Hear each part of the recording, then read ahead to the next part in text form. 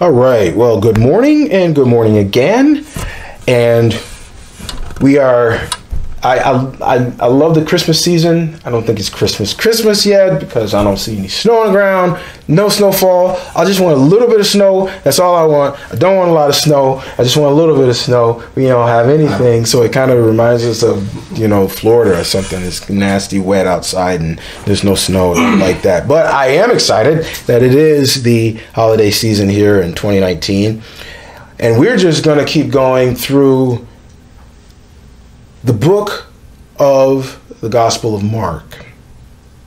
Now, last week we went through verse 5 of the Gospel of Mark. Main things that we took away from last week's teaching hinges on three things. So let's go through those three things that we went through last week. The first is that confession of sin is mandatory for forgiveness. It is mandatory for forgiveness. In that verse, verse 5, the people came to be baptized, but with that coming to be baptized, they confessed their sin. Confession of sin has been a cornerstone in the starting block of repentance. If there's no confession of sin, that means that there's no repentance. And confession is always a prerequisite for other things to transpire throughout Scripture. Mainly, it's the precursor to forgiveness. As we say in 1 John 1 9, if we confess our sins, if we confess our sins, he is faithful and just to forgive our sins and to cleanse us from all unrighteousness. You can light that, by the way. Evangelist D.L. Moody said, unconfessed sin is unforgiven sin. Mm-hmm. And unforgiven sin is the darkest, foulest thing on this sin cursed earth. I know a lot of Christians who don't confess sin on a regular basis. They don't confess specific sins, and so it's unforgiven sin. You're still in it. There's no cleansing of that sin from your life. So you're still in it. This is the reason why a lot of Christians don't have any power in their lives. There's no confession of sin. There's no coming to the Lord and falling at his feet for mercy. There's no life of repentance most just go about their business. Oh, I, you know, I asked them to forgive me once when I got saved, and that's it. And that's and they just go on about their business as if that's the only time that they're supposed to confess sin, and they only do it in a general sense. They don't get specific. But God said we're supposed to confess our sin. We're supposed to confess sin and sins specifically. That means we start naming sins that we have done. That comes to our minds. So we have to confess sin, otherwise, it's unforgiven sin. We need to confess it generally on a daily basis. And then those things that we know that we've done, we need to confess those specifically. And we need to have lives of repentance.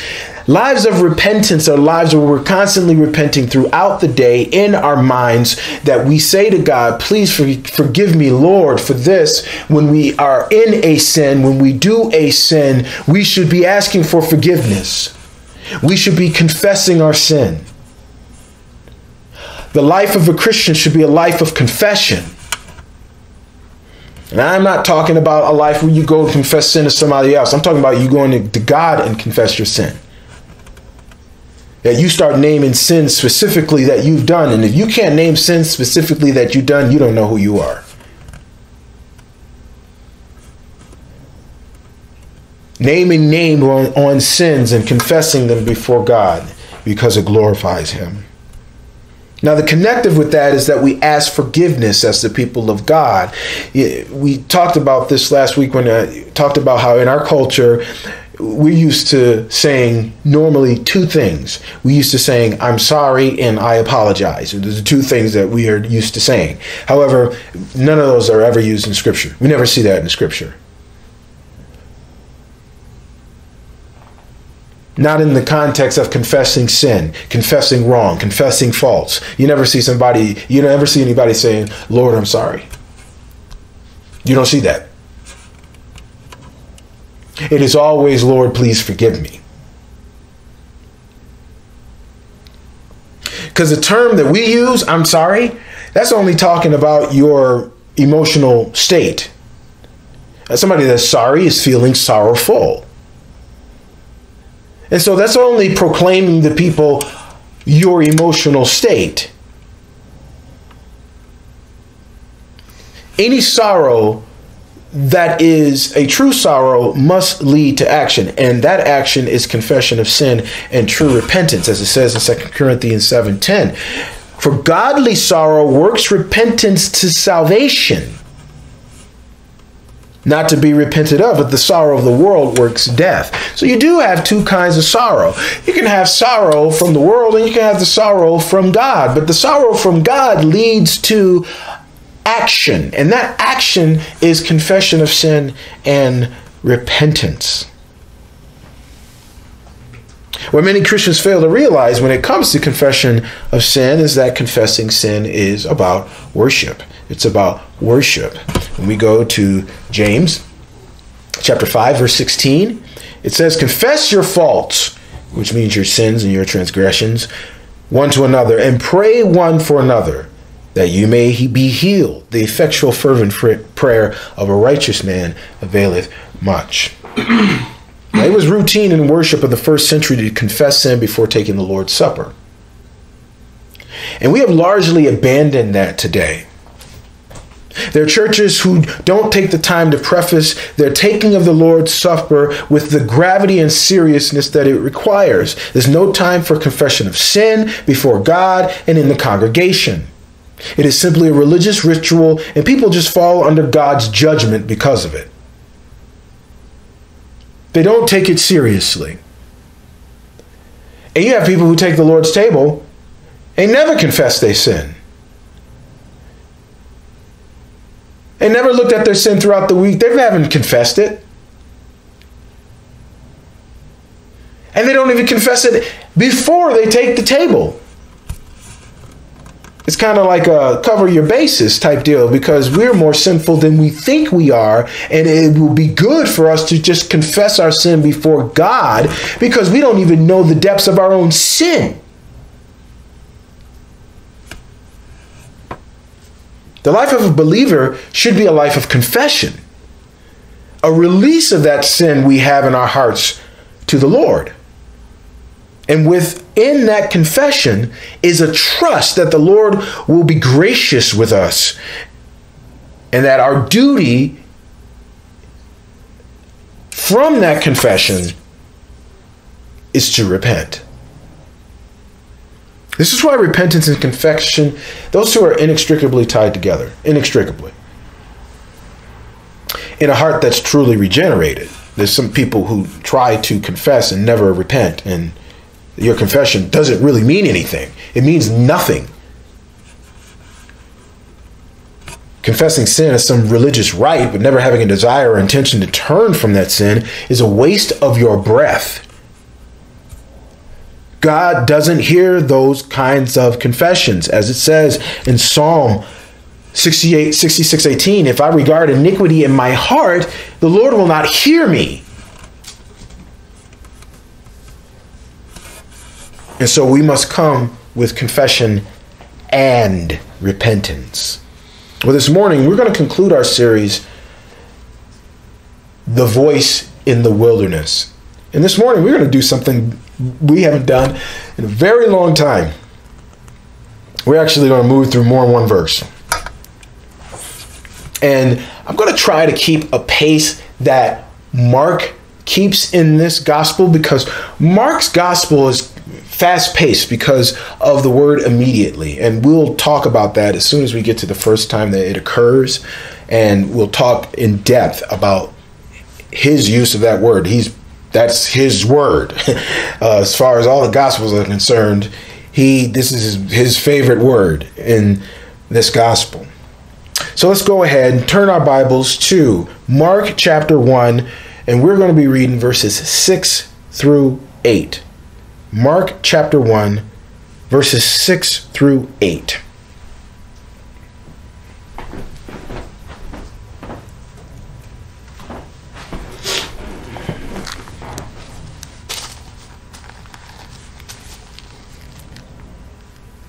Let's read.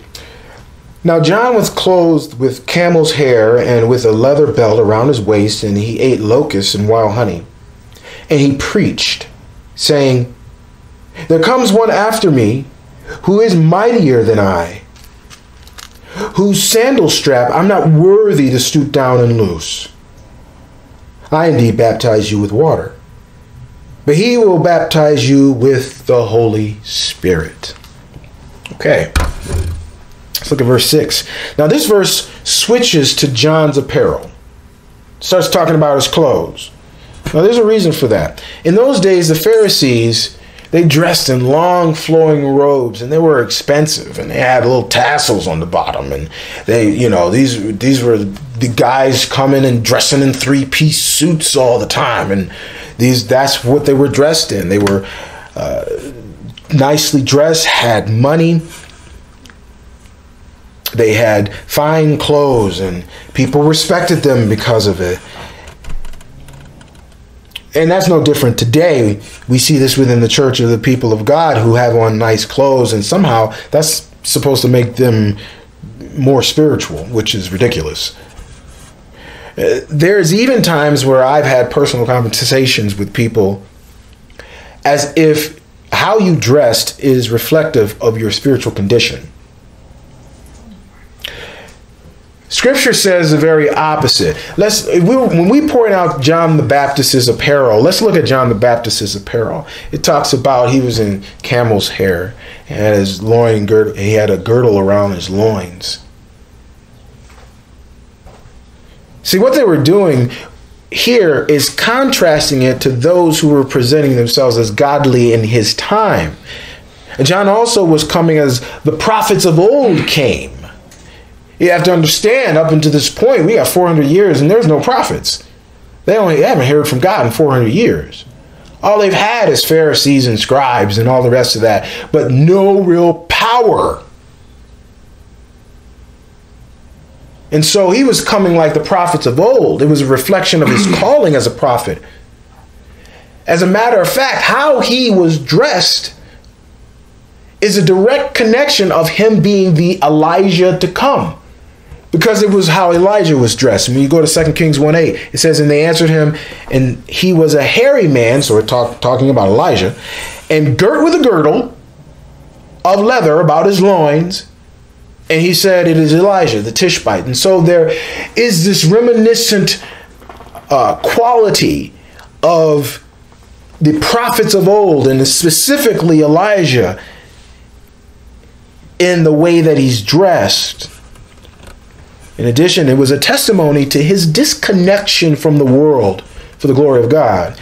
He was not like everybody else, he was strange to many people in how he lived and how he conducted himself. There was a simplicity in his living that was a direct contrast to those who were considered holy in their society.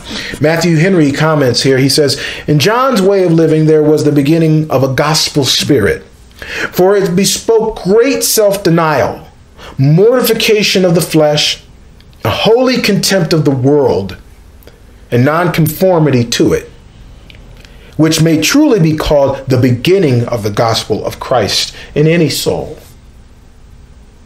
So we have this dressing in camel's hair, you know, hairy, and he's out in the middle of the desert and he's eating locusts and wild honey. And he's got this disconnection from the world. Now you have a lot of people who say who say they don't want to be like everybody else, right? They want to be unique. They want to be the one of a kind. They want to be different. They want to do me kind of mentality. Yet when it comes to pressing this out in their lives, they end up actually just being like everybody else. Right? People talking about, I, I want a tattoo because I want to be different. And yet everybody and their mama's getting tattoos. How's that different? You're not being any different than anybody else. You're being the same. That's not different. Now we have this same mentality in the church today right? Instead of pressing out in our lives to be more holy, more righteous, more loving, more merciful, more compassionate, and just generally being conformed more to the image of Christ, you will find that there are many people who would just rather be mediocre in holiness, righteousness, and as a witness for Christ. Weak, anemic, they're just barely hanging on. And somehow people are supposed to have some kind of sympathy for them because they don't have the drive to take care of their own faith. Uh, the Bible's clear on this. Work out your own salvation with fear and trembling, is what it says.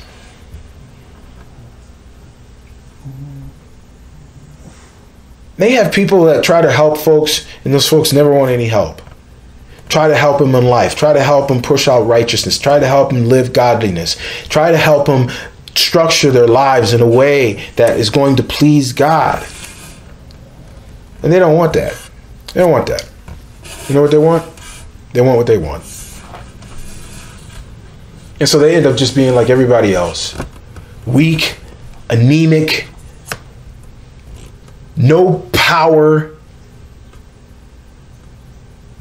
They swear they Christian.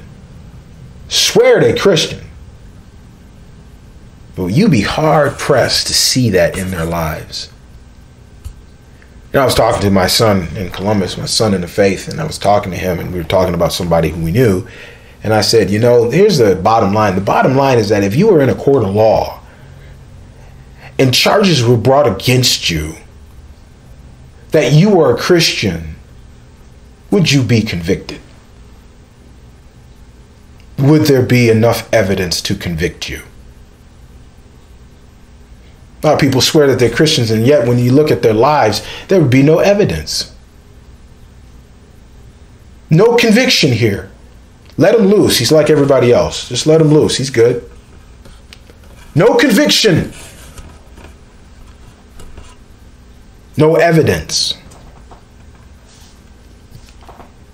And then, so these kind of people, they don't want to rock the boat, they don't want to push the envelope, they're just too lazy, too tired, too weak. It's just not important enough to them.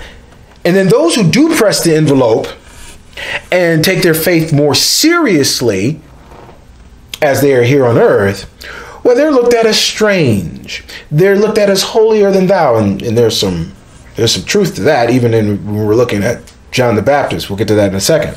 They're looked at as weird. This is in the church. They're looked at as, why are you not like everyone else? Well, that's true uniqueness. That's truly being different. Uh, truly being different is being more righteous, more holy, more loving, more compassionate, uh, that's being truly different. In the vast majority of Christians today would rather be just kind of this mediocre, run with the crowd mentality, not being any different. And they live their lives like that. It's pitiful. Now, we find in this verse that John the Baptist he had a simple life. And in his simple living, he kept the law. In his diet, he ate honey and wild locusts, which he could eat because these were things that were allowable under the Levitical law. And when we look at Levitic, Leviticus 11:22, it says, "Even though even these of them you may eat, the locust after is his kind, and the bald locust after his kind, and the beetle after his kind. Not that I would ever eat a beetle, but anyway, and the grasshopper after his kind. If I was, I guess I'm if I'm really pressed for it, I'm, you know, I'll go ahead and eat a beetle, right?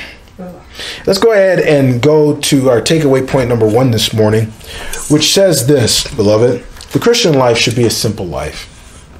Christian life should be a simple life. It is a simple life that can be the most productive life. We make life complex, but God wants us to live in the simplicity of Christ and in his kingdom. Listen to what he says in 2 Corinthians 1:12 when he says for our boast is this the testimony of our conscience, that we behaved in the world with simplicity and godly sincerity, not by earthly wisdom, but by the grace of God, and supremely so toward you. Had a friend of mine I hadn't seen in a really long time. And this is about a month or so ago, a little, maybe a little bit over a month or so ago. He comes over and he comes into the house, and this is what he says. He goes, "Oh my gosh, this is exactly as I remembered it."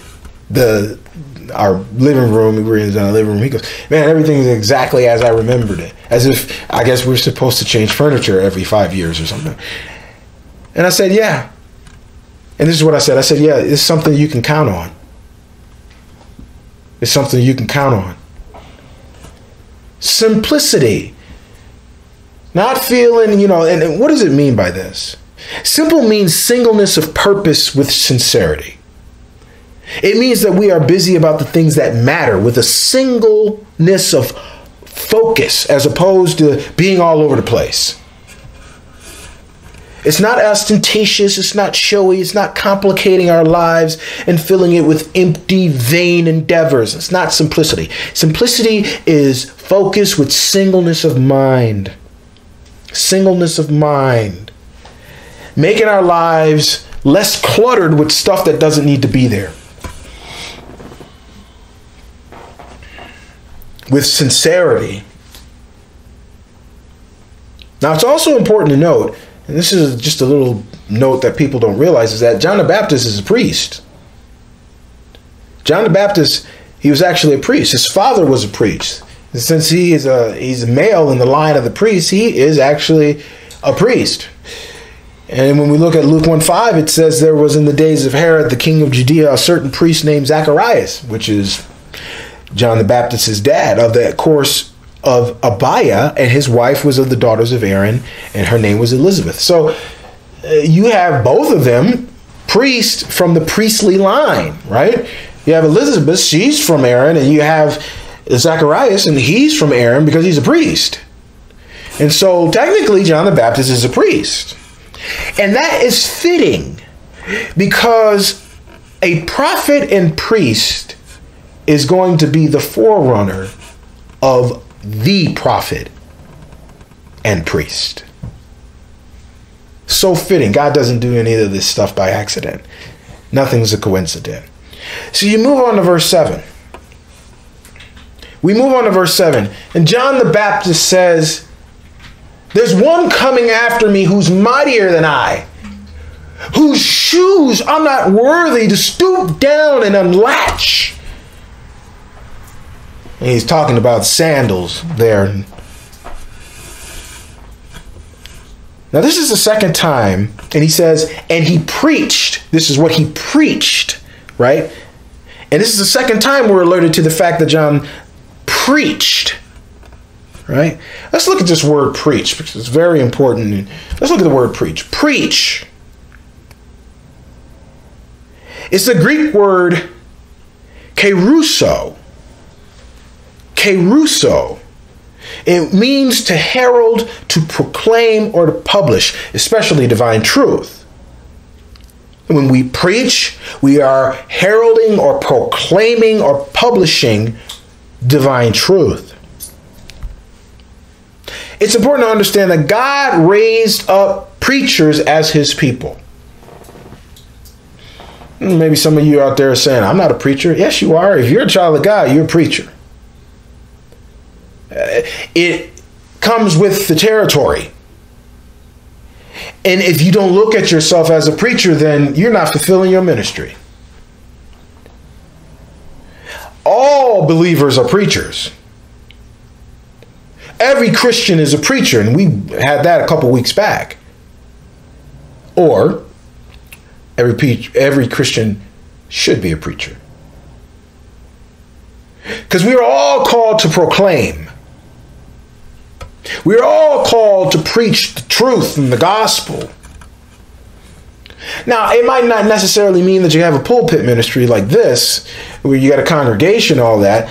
That, that's, it's not necessarily what it means. What it means is that we all have a ministry and a pulpit to speak from in the proclamation of the truth and the gospel, and the truth of the gospel. Every Christian does. We all, as the people of God, have that responsibility. Privilege, as a matter of fact. Privilege.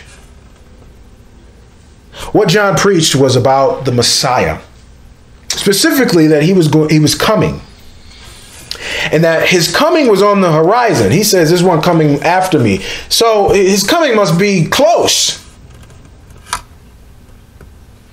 he was coming after john now understand the people in that time were convinced john was a prophet john testified and preached one was coming after him and he says, Who is mightier than me?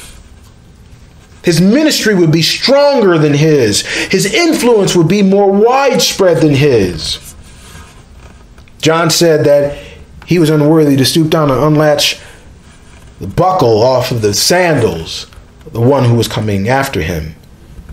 This is significant to John's audience because to unlatch the buckle off of somebody's shoes, that was a duty of a slave. and what was even more striking was that this duty was thought to be below even a Hebrew slave back in those times, let alone a disciple of any rabbi. And so John was presenting himself as one who was unworthy to perform one of the most lowly and menial tasks of a slave to the one coming after him, though he was chosen by God to be his herald. He was called. This would have placed within the minds of the hearers a picture of somebody who was coming who had to be very great. Sounds more like God that's coming. I want you to notice something also about John's attitude. He understood his place in light of who he was serving. He didn't come with pride. He didn't come like I, I deserve this or privilege.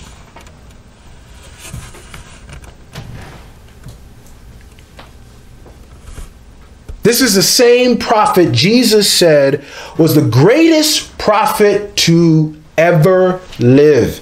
John 7:38 says, and stood at his feet. Uh-oh, this is the wrong one. Yeah, yeah, this is wrong. This is not the right one. So it's John 7:30.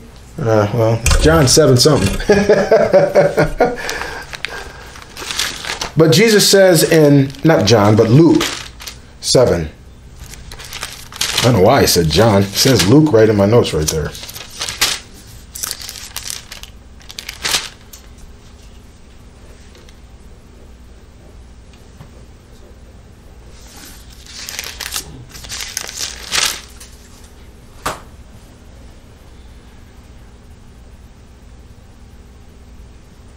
Well, he says, There's no greater prophet born among women.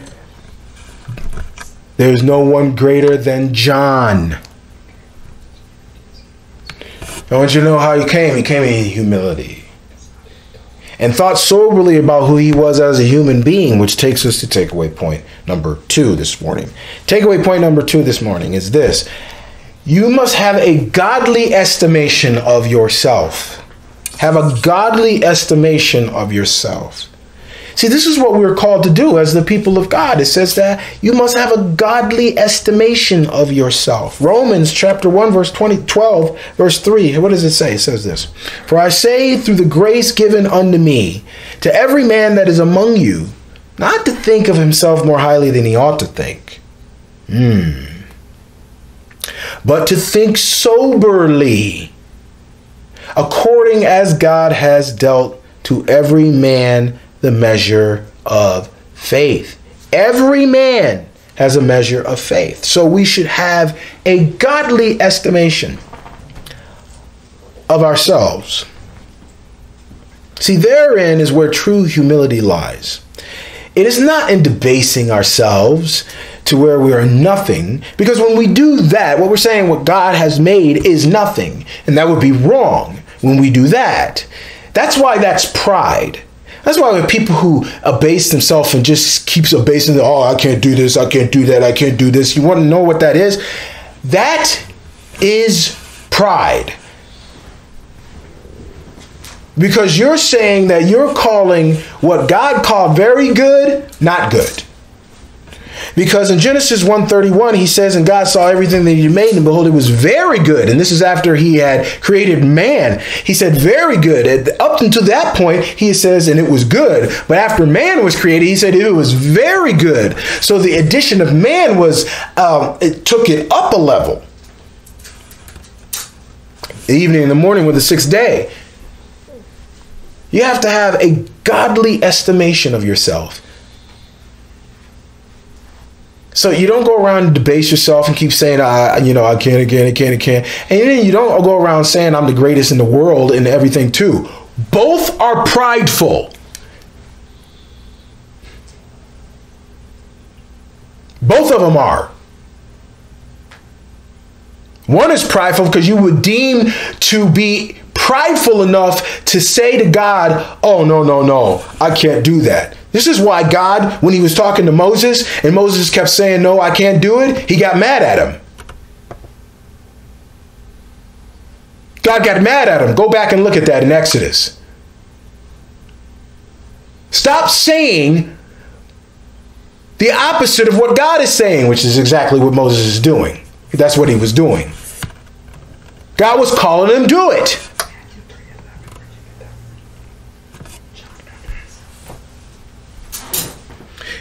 It is having spiritual eyes that sees who we are in its proper context with that proper balance in the whole scheme of things. William MacDonald says in his commentary Spirit filled preaching always exalts the Lord Jesus and dethrones self. So if you want to know if you are preaching, you're listening to godly preaching, just go ahead and measure how much they're lifting up the name of Jesus and how much they're lifting up Jesus and how much they're lifting up themselves or something else. One thing we tend to do as human beings is we tend to think of ourselves more important than we actually are. We even have churches, they want to proclaim that we are the center of our own universe. John the Baptist lifted up the Christ as being so good and so righteous and so holy that he couldn't even touch the latches on his sandals.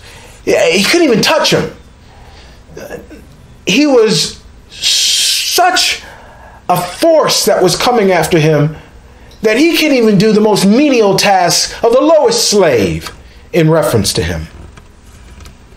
John the Baptist knew who he was. He had no compunctions about telling people about who he was in light of Christ. He didn't say, oh, well, you know, I want to be better, but you know, he's better than me, but I'll be better later. Just give me some time. He didn't say nothing stupid or crazy like that. Because he was exalting Christ. And to him, that was his job. That's what he was supposed to do. He was supposed to exalt Christ. It's no different for any believer today. We exalt Christ. We should lift up the name of Christ. We should glorify Christ.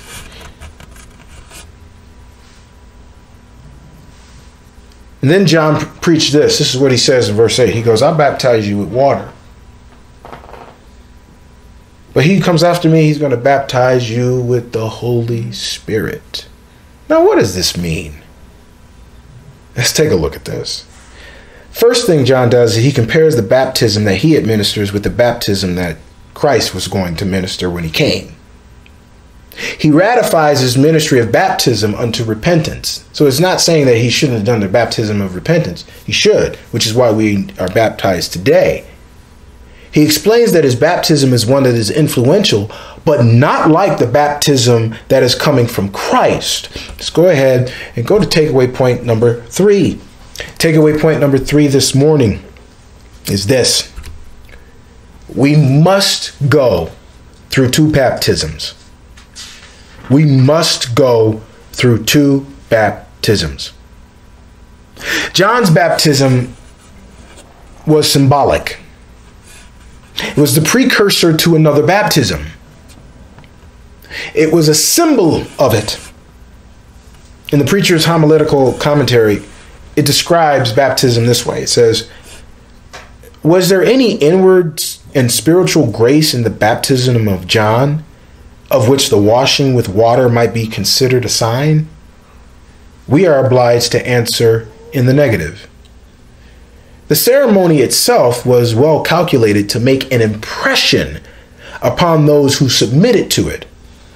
But the same may be said of many other rites, which have nothing spiritual or supernatural about them. Such impressions may easily be accounted for and furnish no proof that there has been an extraordinary exertion of divine influence. What he's saying here is that baptism is a precursor, but it doesn't change you. It doesn't do anything to you internally. It is a symbol and a sign. It is actually, listen now very closely, water baptism is actually a response that a change has already taken place. It should be. However, this is different from the Messiah's baptism. He contrasts his and the Messiah's. The Messiah's baptism is life infusing and soul changing. The baptism of Christ and the Holy Ghost raises people from the dead. Go ahead and turn with me to Ephesians chapter 2. And we're going to read through verses 4 through 7 this morning. And I want you guys to take a look at this because this is baptism. And we're also going to explain some other things about this baptism of the Holy Spirit. But let's go ahead and open our Bibles to Ephesians chapter 2. We're going to be reading verses 4 through 7 this morning. So let's go there. It says this But God, being rich in mercy, because of the great love with which He loved us, even when we were dead in trespasses, in our trespasses, made us alive together with Christ. By grace you've been saved. And raised us up with him and seated us with him in heavenly places in Christ Jesus, so that in the coming ages he might show the immeasurable riches of his grace and kindness towards us in Christ Jesus. Now, this is very important. The baptism of the Holy Ghost raises us from the dead. The baptism of the Holy Spirit is a baptism of resurrection.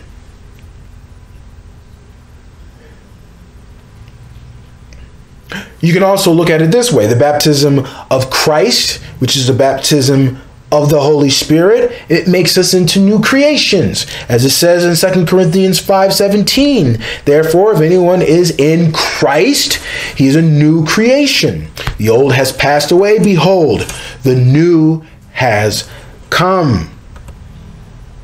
So, in a nutshell, the baptism of Christ makes a person saved. It makes a person saved. It is God's act of regeneration and justification. That's what it is. Now, let me tell you what it's not. What John is talking about here is not speaking in tongues. Being baptized with the Holy Spirit has absolutely nothing to do with speaking in tongues. Nothing. This erroneous interpretation of what it means to be baptized with the Holy Ghost has caused more confusion in the church than a little bit. Baptism with the Holy Ghost is to be fully immersed with the Holy Spirit of God unto salvation. It is what happens at the point of regeneration in the heart of a believer. This is the mark of what it means to be a true Christian. This mark is not seen by speaking another language, because heathen religions have that. That's not a mark of whether a person is saved. That nonsense is nonsense and borders on heresy. I just give them the benefit of the doubt. The people who believe this are just ignorant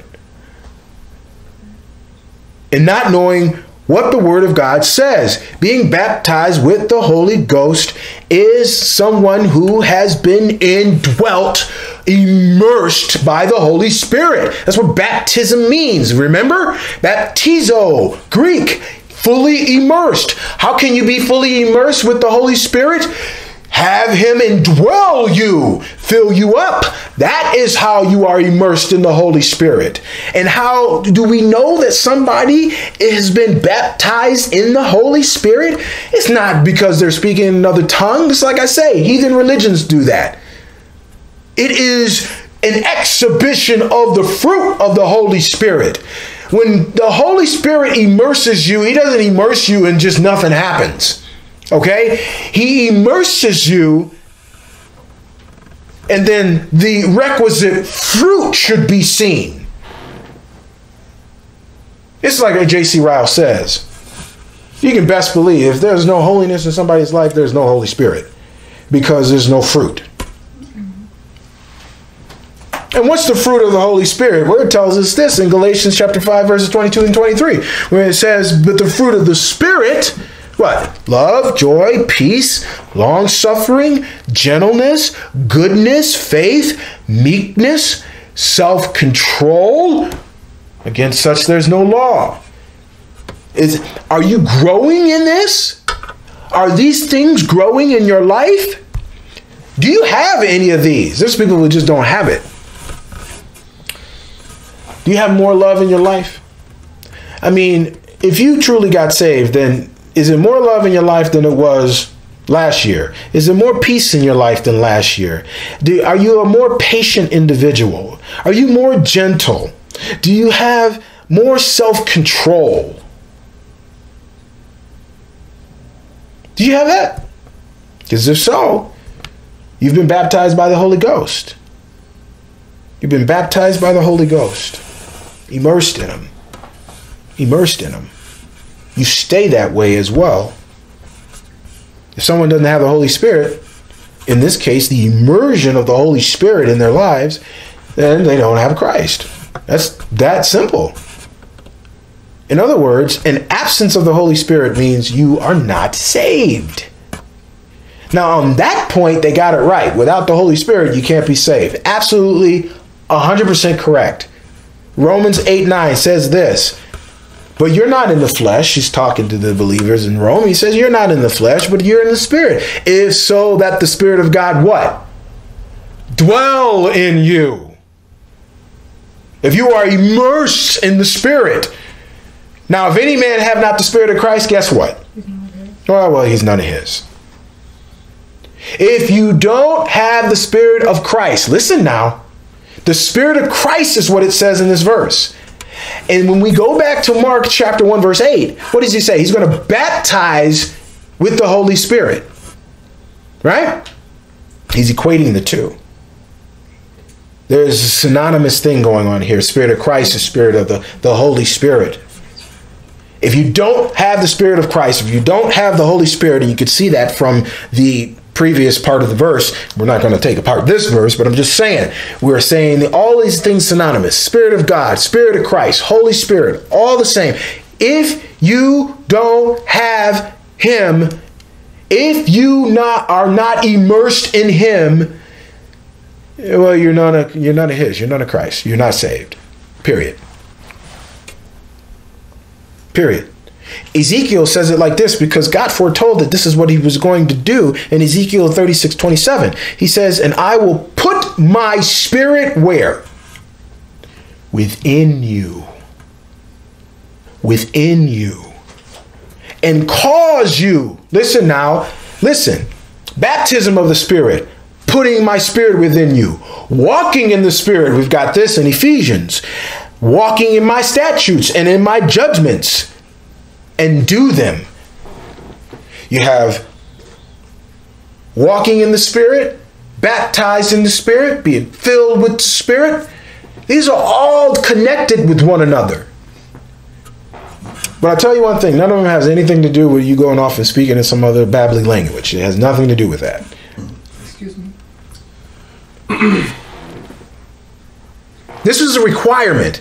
It is a requirement for us to be saved for the Holy Spirit to indwell, we must be immersed in the Holy Spirit. It's a requirement, it's a necessity. If you are not immersed in the Holy Spirit, then guess what? Spiritual things are like French to you. This is why there's a lot of people who just never get it. It, it could be they never get it because they're not saved. Because they don't have what is absolutely necessary to grasp the things that God is saying to us. Natural men can't grasp that. That's why it says in 1 Corinthians 2:14, the natural man doesn't receive the things of the Spirit of God. It does not receive them. Why? Because the Spirit of God is not, they're not immersed in the Spirit of God. They're not immersed in the Spirit of God. So he can't receive them, for they are foolishness unto him. Listen, they can't receive them. They think they're foolishness. Third thing, they can neither can they know them. They, they, they can't even comprehend them because they do not have the Spirit of God. This is just what it says at the end of the verse because they are spiritually discerned. And if you are just a natural man, you won't get it. You won't understand ever. You won't get it. The gospel will just be foolishness under you. All of that stuff, you just won't get it. Now, there's a lot of times, and don't misunderstand me. There's a lot of times people don't get things and they don't understand things because they won't study and do the and do the requisite work. That's different. There's Christians galore out there who won't do that. Their understanding isn't based on that they don't have the Holy Spirit. Their understanding is limited and based on the fact that they're lazy. That's what that's about.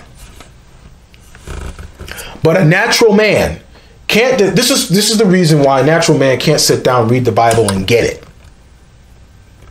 This is why they sit down and read the Bible, and then you see the kind of conclusions that they're coming up with, which are off the wall. Why? No Holy Spirit. That's why. It's absolutely essential. The Holy Spirit is the one who opens our eyes and opens our ears. We're able to see, we're able to understand. These things are spiritually discerned. And it's not our spirit, but the Spirit of God, which must we must be immersed in. We must be baptized by Christ. He must give us his spirit, immerse us in his spirit in order for us to get that stuff, in order for that stuff to connect with us, in order for the gospel to connect with us. Otherwise, we are not going to get it. That stuff will just be foolishness and babbling. You know, it's just babbleness, a religious nonsense to us. This is why, like I said, people go to the Bible and says, I don't understand it. You ever have somebody say that to you? They say, I tried to read the Bible, I don't understand it. I understand why you don't understand it. You don't have the Holy Spirit. That's why you don't understand it.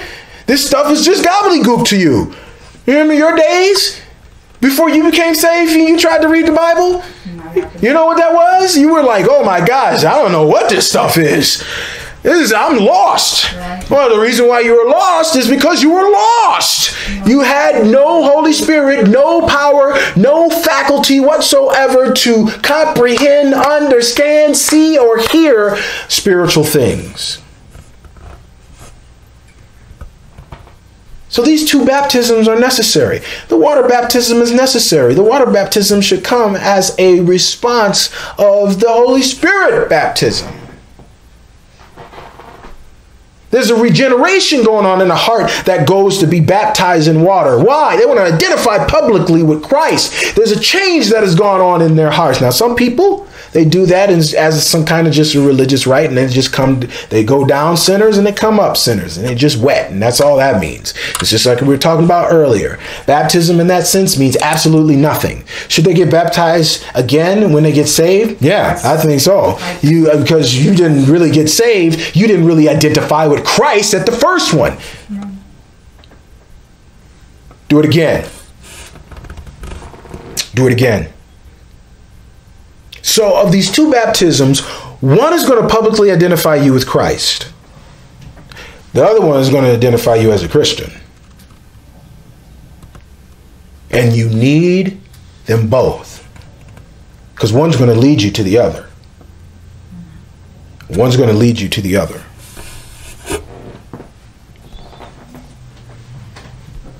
The question that comes to us this morning is this then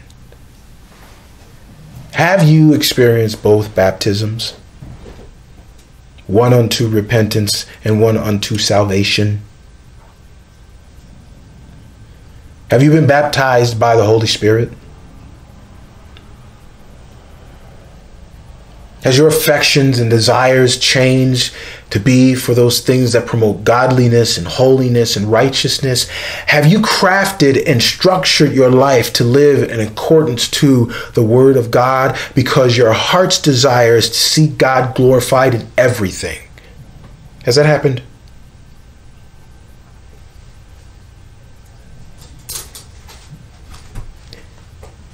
That when God is pleased, when Christ is pleased, you're pleased.